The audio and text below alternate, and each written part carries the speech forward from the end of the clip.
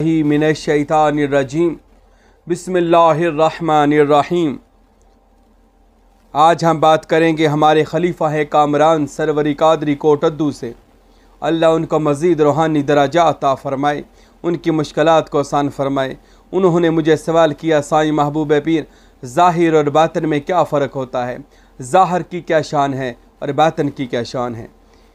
تو سنیے، اللہ کا قرآن کیا فرماتا ہے؟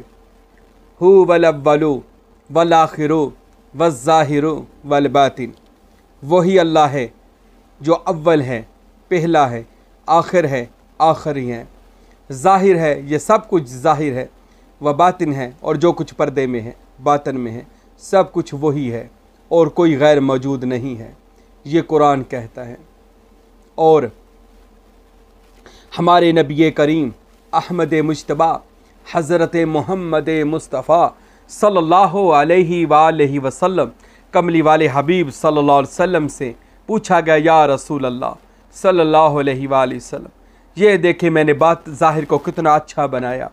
یہ پگڑی ہے، یہ دستار ہے، یہ داڑھی اتنی بڑی ہے۔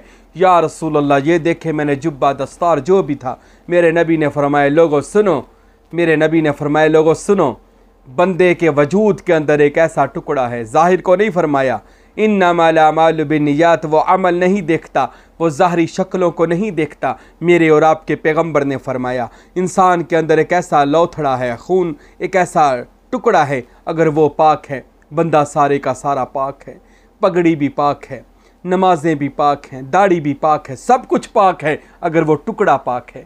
یا رسول اللہ، اس باطن کے ٹکڑے کا نام کیا ہے؟ فرمایا، اس کا نام دل ہے۔ اللہ، اس کا نام دل ہے۔ دل کو پاک کرو۔ اب دل باطن کا نام ہے۔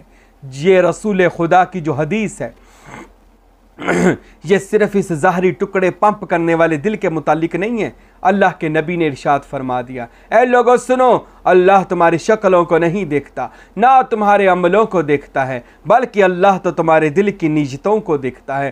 اللہ باطن کو دیکھتا ہے۔ اللہ باطن کو دیکھتا ہے۔ اللہ تیرے اندر پوشیدہ باتوں کو دیکھتا ہے۔ اللہ علیم بم بذات صدور تیرے سینے کی چھپی ہوئی باتوں کو جانتا ہے۔ اللہ تو باطن کو دیکھتا ہے، کیونکہ وہ ایک باطن ہے۔ وہ باطن کو دیکھتا ہے اور سلطان العرفین ہمارے مربی سخی سلطان باہو رحمت اللہ علیہ، آپ نے ارشاد فرمایا، اللہ ایک باطن ہے، اللہ ایک باطن ہے، اللہ ایک باطن ہے۔ اس کو یاد بھی کسی باطنی زبان سے کر، کیونکہ اللہ غیر مخلوق ہے۔ اس کو غیر مخلوق زبان سے یاد کر۔ وہ غیر مخلوق ہے۔ اس کو غیر مخلوق زبان سے یاد کر۔ اب یہ غیر مخلوق زبان کون سی ہے؟ آئیے آج ہم بات کرتے ہیں۔ سب سے پہلے ظاہر پر۔ میرے دوستوں میرے بھائیوں ظاہر جو ہوتا ہے، یہ بھی بہت اچھا ہے ظاہر ویسے۔ انسان کا جو ظاہر ہے، یہ بندے کو کہہ لے اس کی پہچان کرواتا ہے۔ ظاہر بندے کی خوبصورتی ہوتی ہے۔ ظاہر بندے کے کہہ لے کردار کا نام ہے۔ ظاہر بندے کو لوگوں کو پتہ چلتا ہے۔ کہ اس کا کہہ لیں ایک طرح کا لباس، رنگ، ڈھنگ جو بھی ہے، یہ بندے کا ظاہراً چیزیں ہیں۔ اور یہ ہونی بھی اچھی چاہیے۔ کیوں؟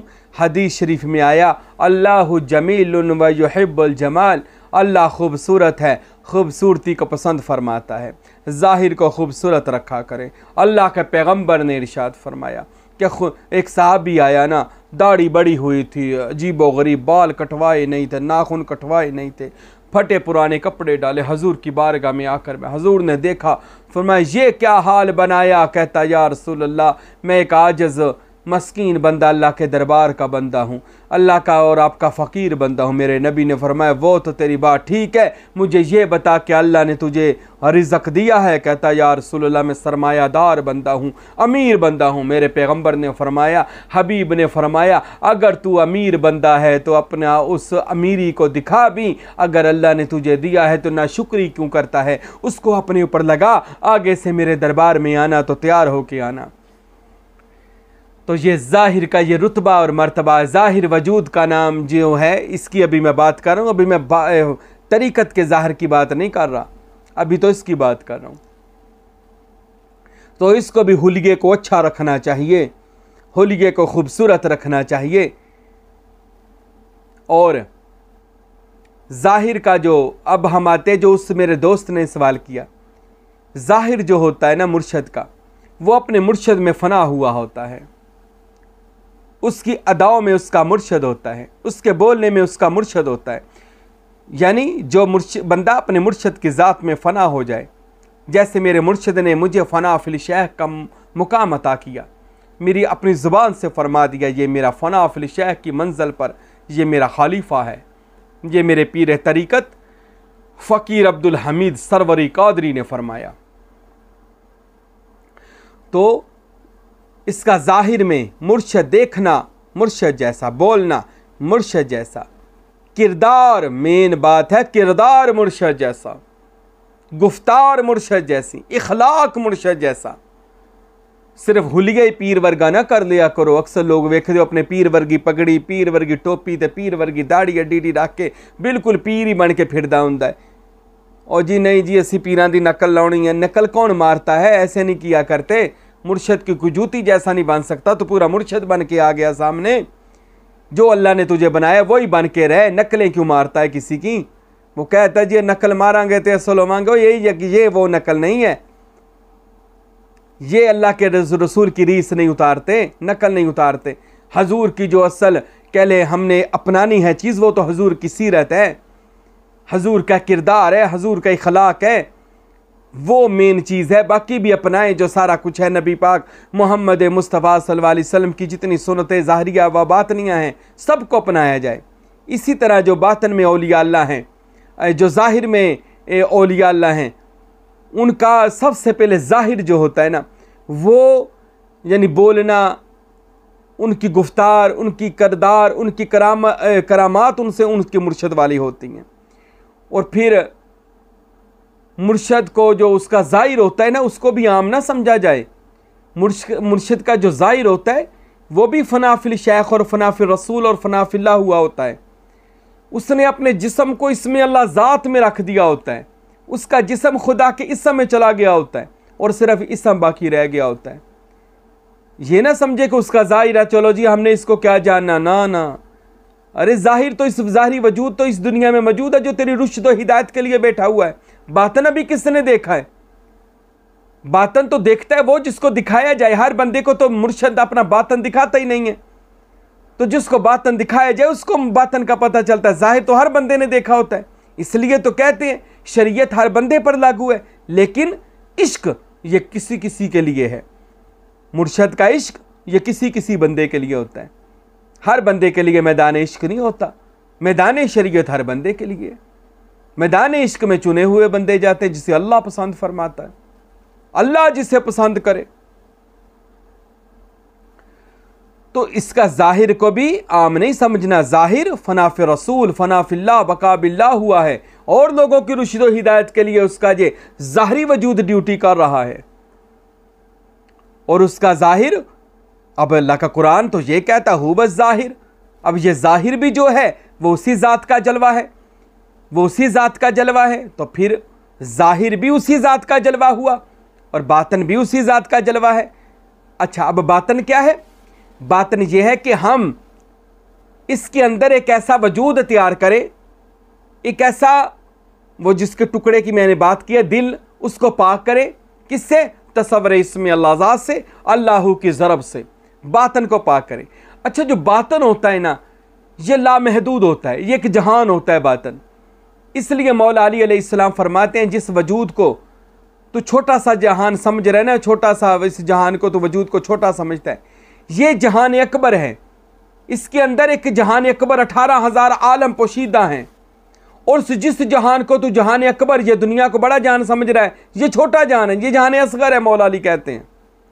جہان اکبر باطن کے اندر ہے، بڑا جہان اکبر، جس کے اندر ساتوں لطائف ہیں، باطن کے اندر ہیں، ظاہر کے اندر نہیں ہے باطن کے اندر لگے ہوئے ہیں۔ یا ظاہر پہ تو کوئی لطیف ہے، نفسی قلبی نہیں بنتے کے اوپر لگا ہوا۔ یہ سب باطن ہے۔ اور فکارا کا باطن اللہ کی ذات میں چلا گیا ہوتا ہے۔ اور باطن کو کبھی موت نہیں آتی، کیونکہ باطن کا تعلق روح سے ہوتا ہے۔ اور روح امر ربی ہے، جس سے موت نہیں ہے۔ اللہ کے امر کو موت نہیں ہے۔ تو ہمارا باطن اولیاء اللہ کا باطن۔ یہ اللہ کی ذات میں، اولیاء اللہ کا باطن اللہ کی ذات میں فنا اور بقا ہوتا ہے۔ کیوں؟ انہوں نے سب سے پہلے تو اپنا دل پاک کیا ہوتا ہے، غیر خدا سے، دنیا داری سے۔ عورت کی محبت دل سے نکال دی، دولت کی محبت دل سے نکال دی، شہرت کی محبت دل سے نکال دی، دنیا کی محبت دل سے نکال دی۔ اب باطن پاک ہونا شروع ہوئے گا۔ اور باطن نہ، ہر بندے دا بھی پاک نہیں ہوں یاد رکھو۔ اج کل پیر اسی انہوں ہی من دینا جی دی پگڑی وڈی ہوئے گڈی وڈی ہوئے داڑھی وڈی اسی کہنا پیر یہ ہے ہم صرف لوگ ظاہر کی پوجا کرنے والے لوگ ہیں جبکہ باطن کا جو جہان ہے وہ اس سے ساری چیزوں سے الگ اور تھلگ ہے جو فقیر ہوتا ہے جو ولی ہوتا ہے اس کے لیے یہ ظاہر کا جو بھی ہے یہ جبہ دستار یہ نہ بھی ہو تو وہ وقت کا فقیر ہے کیوں فقیر ایک باطنی مرتبے کا نام ہے ولایت ایک باطنی درجے کا نام ہے۔ میرے اندر کیا میرا باطن کا درجہ ہے؟ یہ میں جانتا ہوں یا میرا اللہ جانتا ہے، یا وہ جانے گا جس کا باطن روشن ہے۔ جس کا باطن روشن ہو گیا اور اس کو کشف صدور مل گیا یا کشف قلوب مل گیا، تو وہ جانے گا میرا باطن کے اندر مرتبہ کیا ہے۔ اولیاء اللہ کا باطن کے اندر مقام کیا ہے؟ وہ وہ کون جانے گا؟ جس کا باطن زندہ ہوا۔ اولیاء اللہ کا باطن یعنی اندر، اس میں اللہ ذات سے روشن ہو جاتا ہے۔ اور یہ اس میں اللہ ذات کوئی چھوٹا سا اسم نہیں ہے۔ شرق و غرب و شمال و جنوب میں یہ اسم ذات کا الف سما نہیں سکتا۔ وہ اتنا بڑا اس میں اللہ ذات ہے جو بندہ کے دل میں آ جاتا ہے۔ تو بندے کا دل عرش معلّہ تحت سرا عرش اولا تک ساری رسائی بندے کے قلب کے اندر آ جاتی ہیں اس لیے باطن ہمیشہ زندہ رہتا ہے۔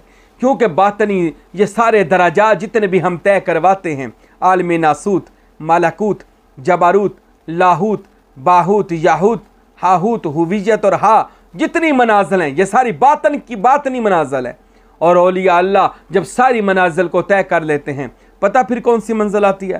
وائزا اتم اتم الفقرہ فاہو اللہ۔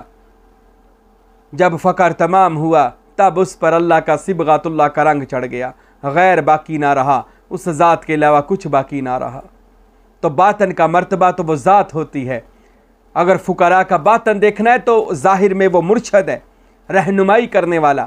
اگر باطن دیکھیں گے تو وہ جانشین خدا اور جانشین مصطفیٰ ہے۔ وہ جلوہ خدا اور جلوہ مصطفیٰ ہے۔ خدا نہیں ہے، یہ یاد رکھے کیونکہ یہ خدا بن گیا۔ خدا نہیں ہے، پر خدا سے جدا بھی نہیں ہے۔ وہ خدا کی ذات میں فنا ہے، بقا حاصل کر چکا ہے، پر اللہ نہیں ہے۔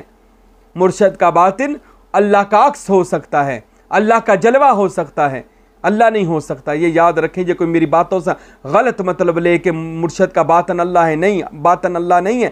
باطن اللہ میں فنا ہے، اللہ میں بقا ہے۔